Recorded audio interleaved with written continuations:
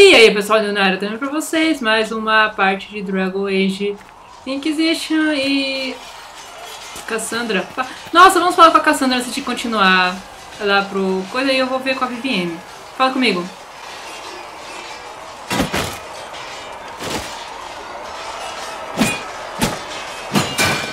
Oh. You're kind of a force of nature, aren't you? When I need to be. It's impressive. You flatter me. I'm trying.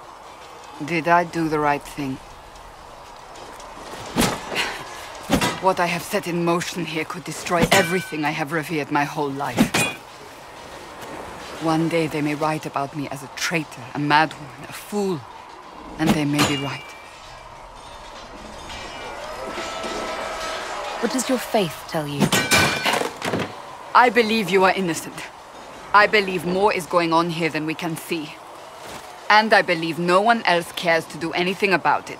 They will stand in the fire and complain that it is hot. But is this the Maker's will? I can only guess.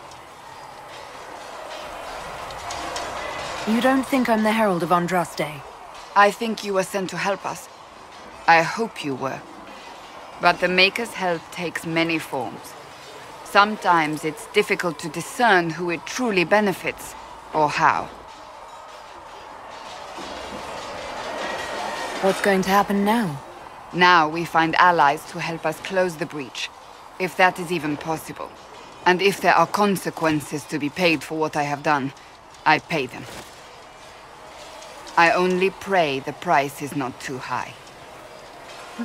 Parabéns pela aquele que criou essa sinergia, porque olha. You didn't have any choice. Didn't I?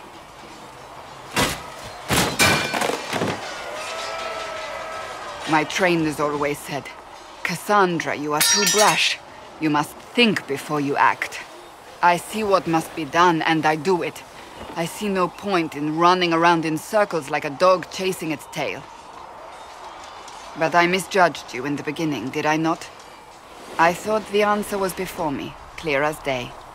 I cannot afford to be so careless again. It wasn't like you had no reason to suspect me.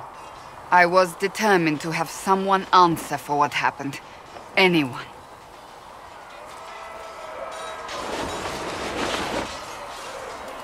You've said you believe you're chosen. Does that mean you believe in the Maker? Ah, é uma boa pergunta, né? Eu acho que sim, Cassandra. I believe he exists. That's comforting. Surely the Maker put us both on this path for a reason. Now it simply remains to see where it leads us. Eu sou tipo assim, Jesus, você tá entendendo?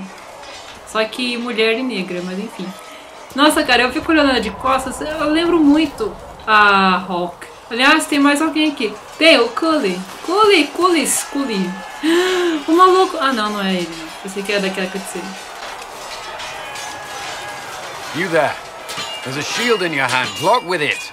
If this man were your enemy, you'd be dead. Lieutenant, don't hold back. The recruits must prepare for a real fight, not a practice one. Yes, Commander. We've received a number of recruits. Locals from Haven and some pilgrims. None made quite the entrance you did. At least I got everyone's attention. That you did. I was recruited to the Inquisition in Kirkwall myself. I was there during the Mage Uprising. I saw firsthand the devastation it caused. Sir. Cassandra sought a solution. When she offered me a position, I left the Templars to join her cause. Now it seems we face something far worse. You left the Templars for this. You believe the Inquisition can work? I do. The Chantry lost control of both Templars and Mages. Now they argue over a new Divine while the breach remains. The Inquisition could act when the Chantry cannot.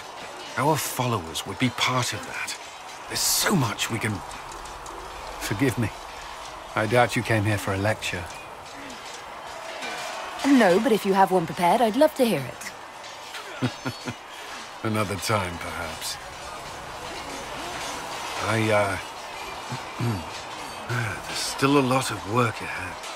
Commander, Sir Raiden has a report on our supply lines. As I was saying.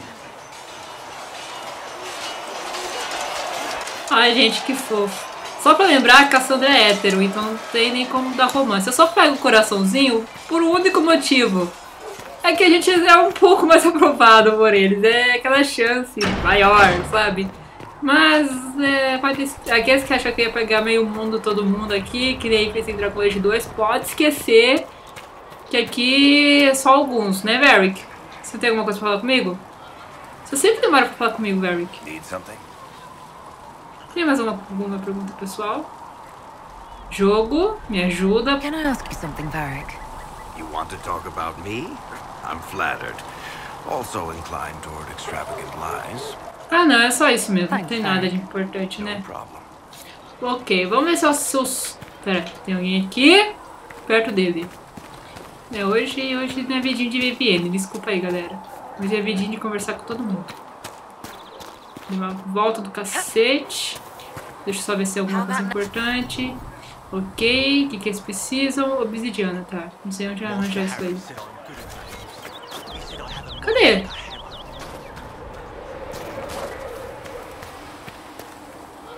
Não, não é você, né? Greetings, Herald of Andraste. Ah, Leile tá aqui. Blessed are the peacekeepers, the champions of the just. Blessed are the righteous, the lights in the shadow. In their blood, the Maker's will is written. Is that what you want from us? Blood? To die so that your will is done? Is death your only blessing? You speak for Andraste, no? What does the Maker's prophet have to say about all of this? What's his game? How is this a game? Do you see the sky? What about the temple ruins? The bones lying in the dust? Even if you didn't support the Divine's peace, you wouldn't call this right. Who could? So many innocent lives. The faithful murdered where the holiest of holies once stood.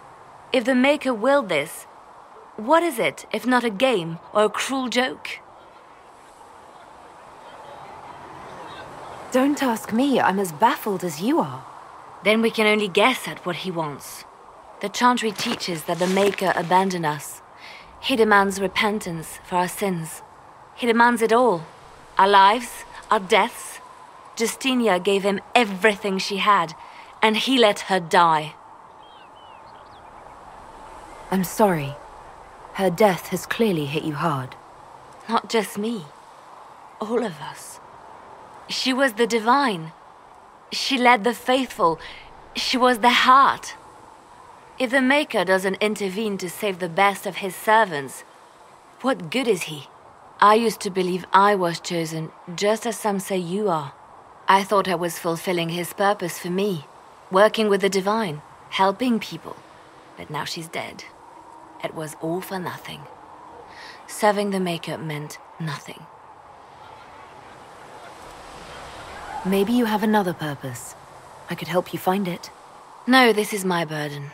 I regret that I even let you see me like this. It was a moment of weakness. It won't happen again.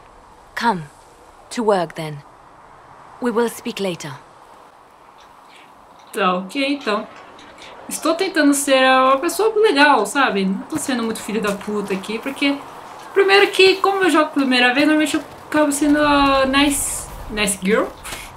nice guy aqui no- nos jogos. Então. Isso aí. Acho que a grande maioria do povo tá sendo nice guy, não? Solas. Nossa, você surgiu aqui, né? Tem alguma coisa diferente pra conversar comigo? Greetings. Não, obrigada. Ah, eu queria sair da conversa. Tá, beleza. Acho que dá tempo de fazer aqui e depois a gente vai lá na VVN, beleza, galerinhas? Que eu preciso, na verdade, fazer uma nova armadura. Não dá pra fazer aqui a de eterno.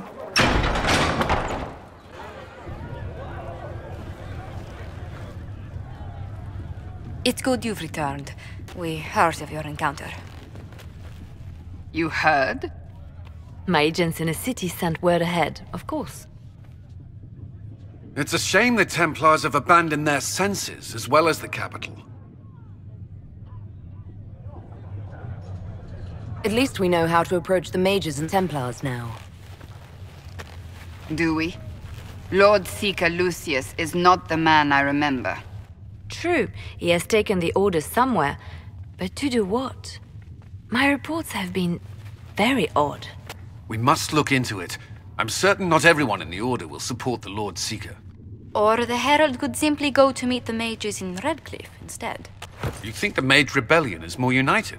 It could be ten times worse.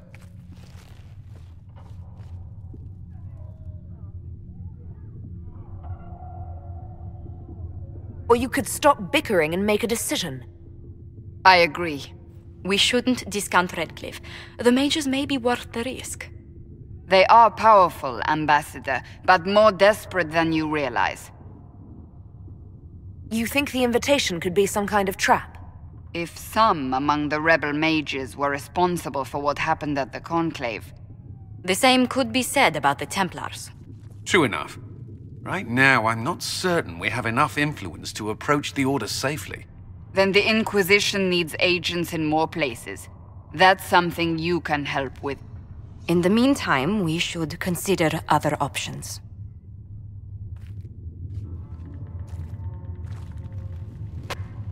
There is one other matter.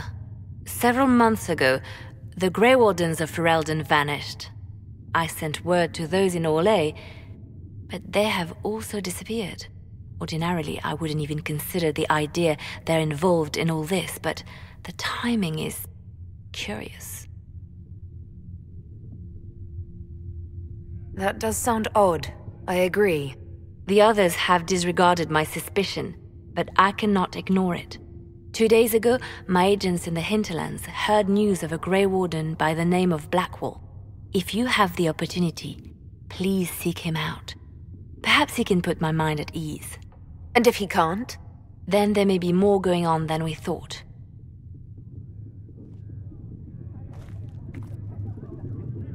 Uau! Ah, é você, mas. Eu nunca falei com você, né, mulher? Vamos falar um pouquinho? Greetings, Herald of Andraste. How fares your quest to seal the breach? I'm doing everything within my power. A task, such as closing the breach is a heavy burden. I hope you do not carry it alone. We remember Andraste, but Andraste did not carry the Chant of Light alone. She had generals, advisors, even her husband for a time. Do everything within your power, but remember those who would help you. I will try to follow in Andraste's footsteps as best I can. If you like. But Andraste forged her own path, guided as she was by her visions. Look to Andraste for guidance, but ultimately, the Maker has made this your task to fulfill. In any case, I pray this Inquisition proves less brutal than its predecessor. Do you know who the Grand Clerics will choose as the next Divine? It is a difficult decision. All the obvious candidates perished with Divine Justinia at the Conclave. The Grand Clerics are terrified of the Inquisition. They will not decide soon, and I fear they will not decide wisely. Whoever is chosen needs the Inquisition's support. No one else seems likely to seal the breach. I don't believe I've had the chance to speak candidly with the revered mother. Can you tell me about the Chantry? I presume you mean deeper questions about the organization itself. Even in the circle at Ostwick, you should have been taught the basics. Ah, obrigada por tirar uma da minha cara. There were calls for an exalted march to put down the Mage Rebellion. What was your opinion? It was ignorant gossip. An exalted march only succeeds when it carries the will of the people. Even then, it cannot be undertaken lightly. People are too easily frightened. We cannot destroy everything they fear. An exalted march is justified only against a true threat to this whole world. It is an offense to the Maker to use it as a political bludgeon, or as a means of spreading the chant of light. What about the exalted march that conquered the elves? That is a hotly debated matter. in some circles of the Chantry. The elves had conquered Montsimmard and threatened Val Royeaux itself. They were not helpless victims. But even then, Orlais was the only nation to provide troops. It was hardly an exalted march of all the faithful. The Maker wishes his world to spread by example, not by war. We win no converts with blood.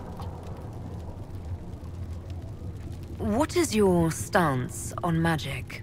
Andraste put it simply. Magic must serve man, not rule over him. However, those words must be put into the proper historical context. Andraste led a rebellion against the Tevinter Imperium, whose magisters controlled most of the world at the time. Even then, she never called for all mages to be put to death. She believed in peaceful coexistence. Why does the Chantry allow only human women to become priestesses? The official doctrine is that elves and dwarves have turned further from the Maker than humanity. And as for men, the chant holds that they are more vulnerable to anger or passion. But in truth, it is simply political. Added after Andraste's death, like too many of our beliefs. If you don't believe these restrictions are what Andraste wanted, why haven't you tried to change them? Has the current state of the world not taught you the folly of fighting too many battles at once? I chose to use what power I had to help peasants forgotten by the nobles of Orlais. I believed there would be time to address their inequality under the Chantry once we had saved them from starving. Farewell, revered mother. Make her go with you. Nossa, cara, gostei dessa conversa aqui. A gente soube, sabia que era só mulher. Eu tinha parado que era só mulher que tinha na Chantry, mas eu achei, sei lá, que era tipo freirinha. Caramba, que da hora. Quem é você? Excuse me. I've got a message for the Inquisition, but I'm having a hard time getting anyone to talk to me. Who are you, soldier? Cremisius Aclassi with the Bulls Chargers Mercenary Company. We mostly work out of Orlais and Nevarra. We've got word of some Tevinter mercenaries gathering out on the Storm Coast. My company commander, Iron Bull, offers the information free of charge. If you'd like to see what the Bulls Chargers can do for the Inquisition, meet us there and watch us work. Que? What should I know about your commander? Iron Bull. He's one of those Qunari, the big guys with the horns. He leads from the front. He pays well, and he's a lot smarter than the last bastard I worked for. Best of all, he's professional. We accept contracts with whoever makes the first real offer. You're the first time he's gone out of his way to pick a side. Pera, Iron Bull? É isso que ele falou? What can your Bull's Chargers offer the Inquisition? We're loyal, we're tough, and we don't break contracts. Ask around Val Royeaux. We've got references. Why did your commander send us this information? Iron Bull wants to work for the Inquisition. He thinks you're doing good work. I look forward to meeting this Iron Bull. We're the best you'll find. Come to the Storm Coast and you can see us in action. Hum, Iron Bull. ah, ah, sim, aqui acho que é dentro. Deve ser a Josephine, Lilia, Varric. Quem mais eu falei aqui? Deixa eu ver o mapa. Nossa, Josephine, tá, é onde eu tô indo. Cassandra, Cullen, Barry. Beleza. Só falta com a Josephine terminar e... Aí sim, no próximo vídeo a gente vai... Peraí. A gente vai falar com aquela mocinha lá. Ah, Lady Trevelyan. May I have a moment? Você tá falando comigo? Yes, Ambassador? I'd like to discuss your parents. A little sudden, but it's time someone made an honest woman of me. What? Very amusing. This is serious. I'd like to dispatch a courier asking the banns of House Trevelyan to align themselves with us.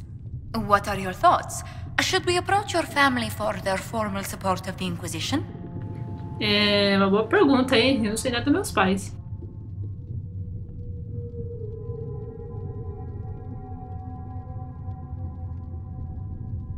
The banns of Trevelyan never turn down a partner if there's something in it for them.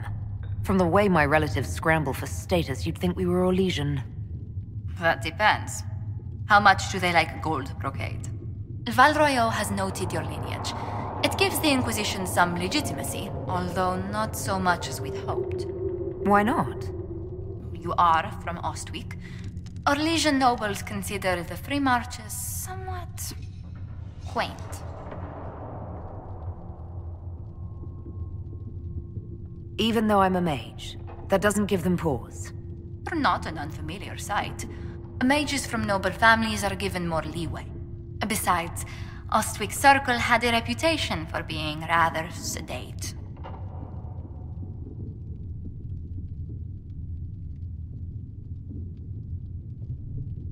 You've never been bored until you've lived in a tower of studious, well-behaved mages. Even our circle's full was quiet. Everyone just left.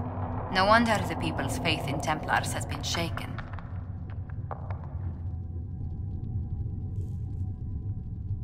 Templars at Ostwick were even-handed enough. A few were almost friendly. Commander Cullen will be pleased. For a man no longer with the Order, he takes its faults quite personally. this place is no bastion of civilization, not like the Circle. I hope you don't find the living conditions in Haven too drastic for someone of your station. This can't be what you're accustomed to, Ambassador. One adjusts. I stay busy. It helps take my mind from our surroundings. And the cold. And the wildlife. And the lack of civilization for miles around.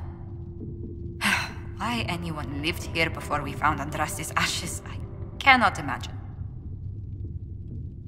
Having a few leagues of ice between me and whoever wishes me ill can't hurt. Do not say that too loudly. Chancellor Roderick is still here. Until next time, my lady.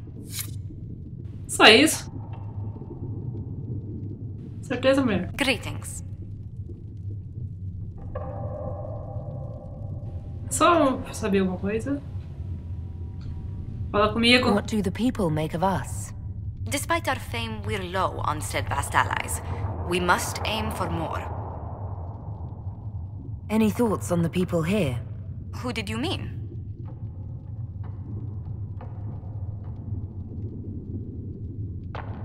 Commander Cullen came to mind. The commander is an intelligent, cautious man. I'm grateful he's in charge of our standing army. Still, he does sometimes resemble the man with a hammer to whom everything appears as a nail. I was thinking of Cassandra. Seeker Pentaghast is a princess of the Kingdom of Nevarra, although that barely seems important to her. She was not interested when I asked if we might make use of her royal relations. Still, the Inquisition would not have formed without Cassandra. She's an extraordinarily driven woman. What's your impression of Solas? I suppose I should be wary of an apostate, but our elven mage has conducted himself with the utmost propriety. And he has the most fascinating stories. I was thinking of Varric. Oh, I could listen to his tales for hours. He actually let me read a chapter of his next book he's writing. Ah, my friends would be sick with envy if they knew. It's excellent, but a bit different from his past works. Only three beheadings so far. Só três decapitações. Let's speak later. Goodbye. Muito bonito. Ah, não, só tem três. Tá, chega de falar com vocês. Mas é isso aí, pessoal. Ficando por aqui. Espero que vocês tenham gostado de todas essas informações com todo mundo aqui do nosso grupo. E eu vou ficando por aqui. Fui!